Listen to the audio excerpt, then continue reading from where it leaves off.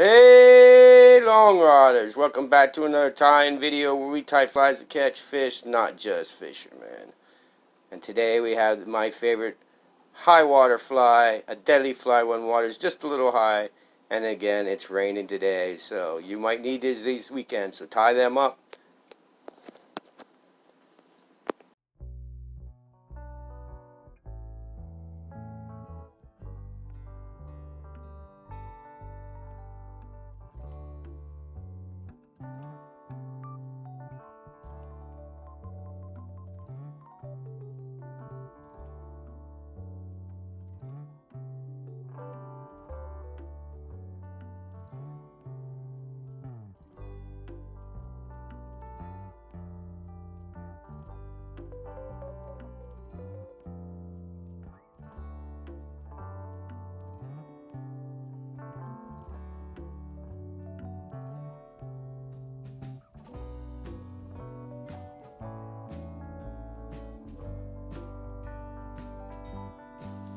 Okay, we're to wrap dubbing down. We're to lay dubbing down first and then put dubbing on top.